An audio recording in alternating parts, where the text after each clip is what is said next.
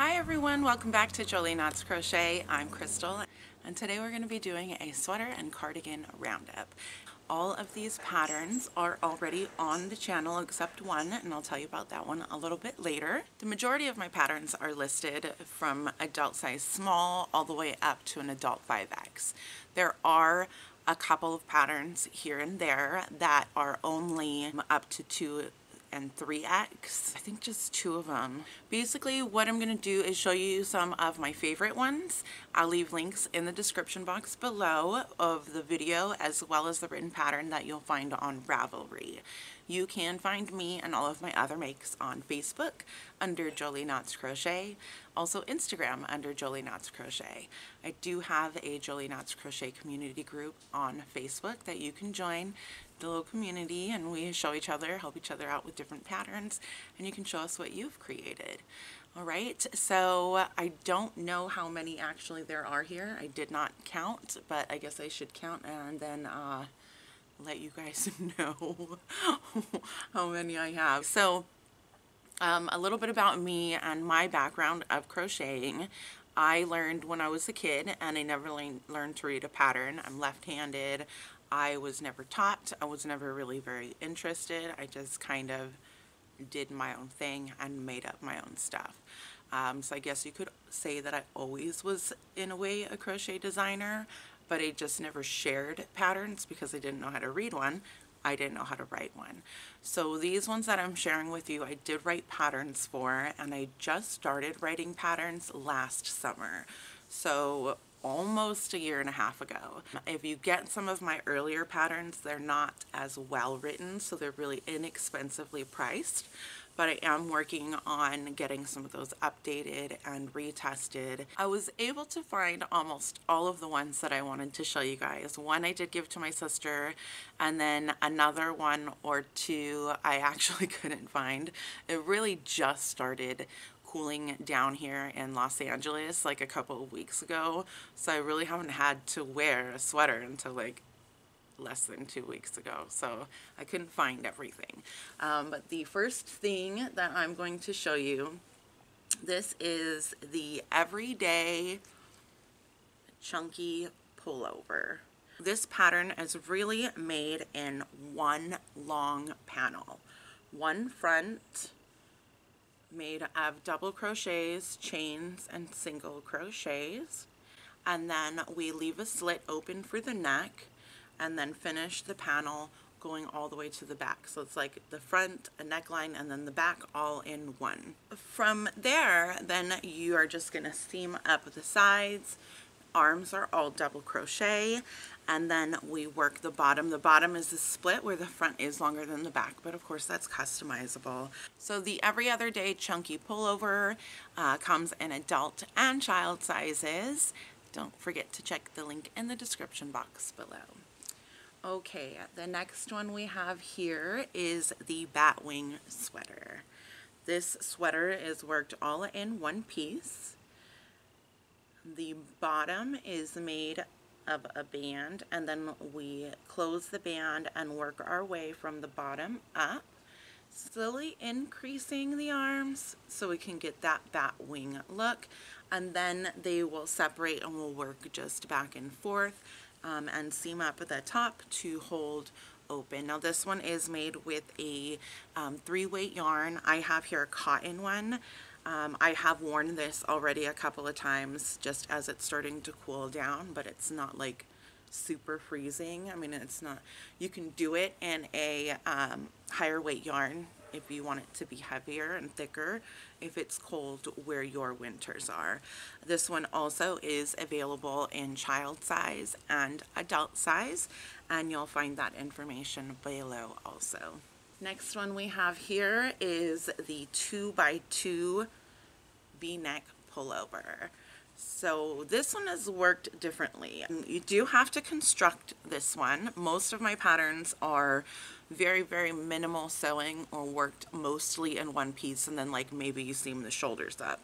This one you are actually making the front panel and the back panel separately. So we start here on the front panel where the neckline is and then we increase okay, and work the rest of that panel. And then we turn it over and work the other side of the front panel, increasing. And then we do the same thing for the back panel with no increases. And then we attach that. We put the front and the back together. And then we make the arms all in one piece in rounds. And we've got, what is this called? A bunched sleeve? I'm drawing a blank. Um, and then we've got a bunched sleeve and also the bottom band. So those are put on last. So this one does not come in child sizes. This one is only um, in adult size all the way up to size 5X.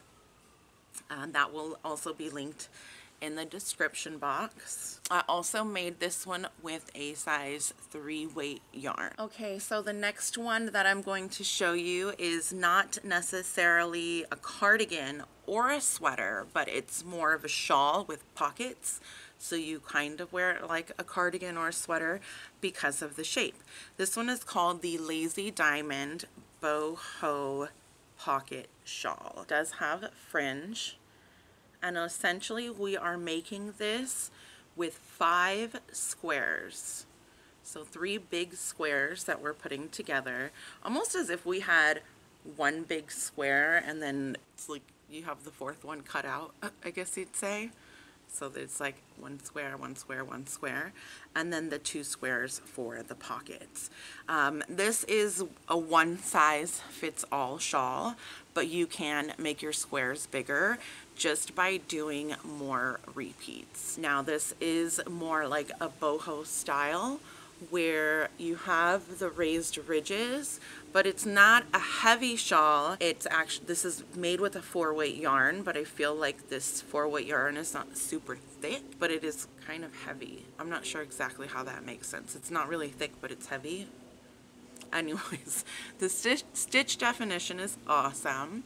That's one of my favorites and there we have the pocket, but you can make this larger or smaller if you're going to do a child size. Um, anything else about that? Of course, optional fringe. Next, we are going to show you, this is the Coco Swancho. Okay, I'm gonna make a video for you guys of this, and I haven't yet. Or maybe you guys can tell me, maybe you just wanna know like what this pattern is. Like it we have sideways puff stitches. So essentially depending on, of course, the yarn that you use, my color rows are worked like this. We're working in long, long rows all the way up your front, down your back. But the pattern itself makes it look like striped this way. So depending on if you're using a color changing yarn or if you're using a solid color yarn, you're going to have two different looks because you might not have the look that's going down and you just see the pattern going across. But this, while it is airy, this is a heavy um, weight yarn. It's a it's a four weight yarn. It's Lamia Wool Easy. So it's actually really warm. Actually kind of too warm. At least right now I can't wear it. It's too warm and it's hot. So we did this kind of like, you know, in rows like this, made a slit and then worked down the other side in rows and then folded that in half and made sleeves. You can leave the sleeves off if you want, but then I suppose it's just a poncho and not like a swancho, like a sweater poncho. And then we seamed up part of the sides. And of course that's customizable to how you would like it. There are directions in the written pattern on how to size this yourself. So essentially is if you want a long poncho, then you have a different starting chain than if you have if you want like a shorter poncho. And then depending on how tall you are or how wide you are and how wide you long your sleeves should go, it tells you how many repeats you need to work on each side so that, you know, like if you're really tall, then your sleeve's not going to come to like, you know, right here. Or if you're really short, your sleeve's not going to be like so far out that you know, it looks silly and doesn't fit. okay, I have a couple more. Hopefully you guys are hanging in there and this video isn't too long. The one I am going to show you now is the Juliette Hooded pocket shawl.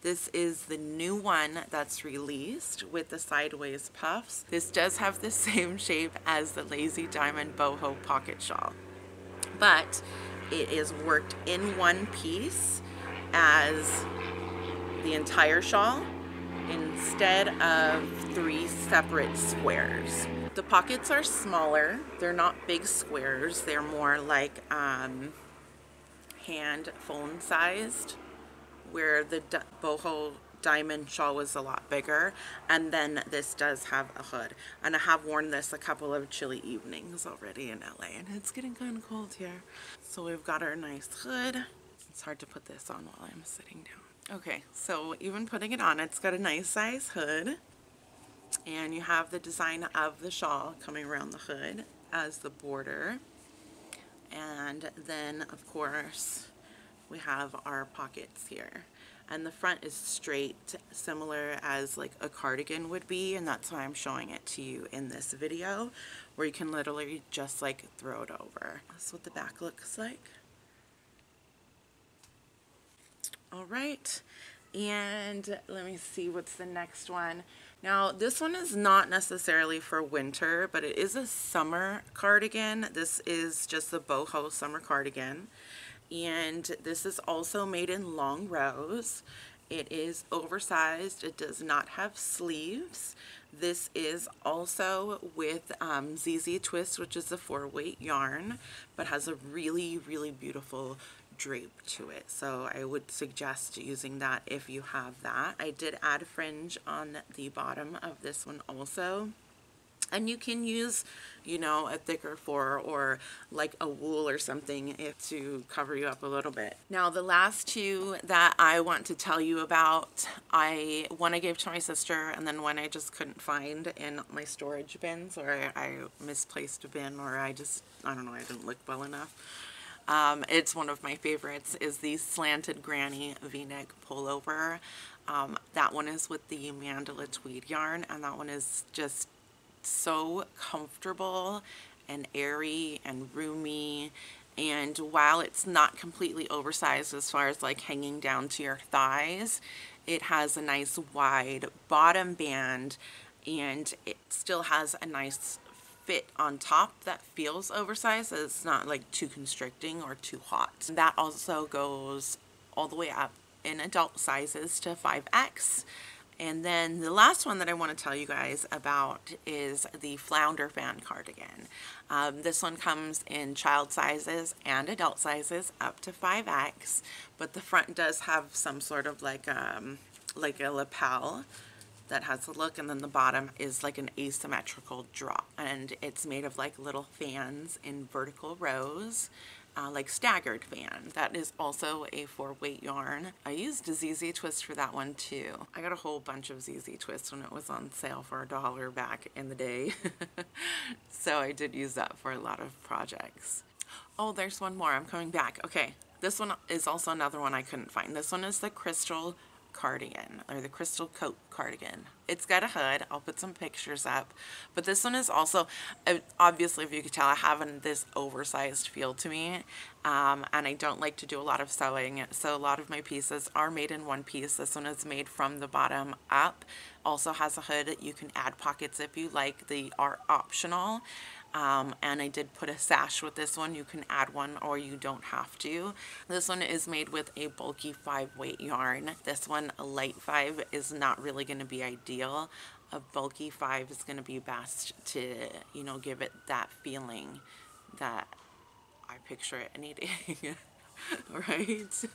So that one will also be linked down below. Thank you everybody for watching Jolie Knots Crochet. I appreciate you all being here and thank you so much um, for subscribing. We're getting close to 35,000 subscribers. Don't forget to like and subscribe. All my videos are available in left and right-handed tutorials.